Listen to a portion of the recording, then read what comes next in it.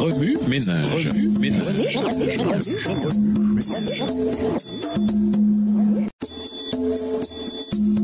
Remue ménage. Remue ménage.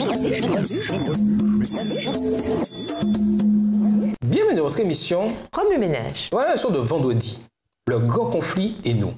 Lisons Romains 3, verset 23. Romains 3, verset 23. Car tous ont péché et sont privés de la gloire de Dieu. Pour conclure, le grand conflit a commencé avec la chute de Lucifer et sa rébellion dans le ciel.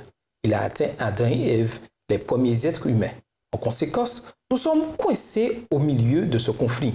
Comme nous avons tous péché contre Dieu et sommes privés de sa gloire, Romains 3, verset 23, nous ne sommes pas de simples spectateurs, mais des participants dans ce conflit. Heureusement, Dieu ne nous a pas laissés dans notre péché. Il nous donne l'occasion d'être victorieux en lui si nous choisissons d'accepter le Christ. Rien dans cette vie ne pourra nous séparer de son amour salvateur. Romains 8, les versets 35 à 39. Pour vos idées, écrivez et jouez un sketch sur le commencement du grand conflit et la chute d'Adam et Ève.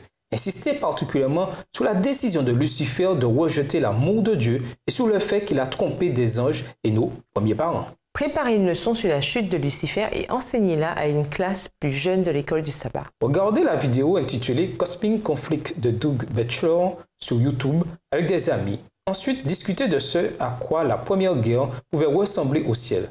Considérez aussi combien l'harmonie et la paix du ciel ont été affectées par la chute de Lucifer. Réfléchissez à votre vie et notez certains moments où vous saviez que vous preniez une décision entre le bien et le mal, quel que soit le degré d'importance. Lisez le chapitre 1 de Patriarche et Prophète, livre écrit par Ellen G. White, puis dessinez Satan avant et après sa rébellion dans le ciel.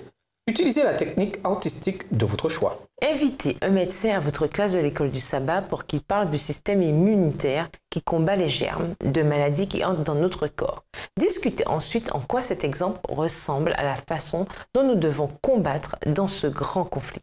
Pour aller plus loin, nous vous invitons à lire les chapitres 1 et 2 du livre de Job, 2 Thessaloniciens 2, le verset 7, les versets 6 à 15 du livre de Jude, 2 Jean 4 et versets 1 à 6, le chapitre 1 à 4 du livre Patriarche et Prophète, livre écrit par Ellen G. White, ainsi que le livre La tragédie des siècles écrit par Ellen G. White, le livre The Sweet Tape Letters, livre écrit par C.S. Lewis, La tactique du diable, et le livre Taking Every Thought Captive, Amener toute pensée captive, chapitres 1 à 5, écrit par Mark R. Lesser.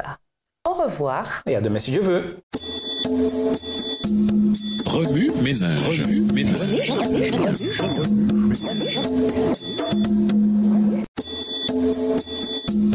Remue ménage. Remue ménage.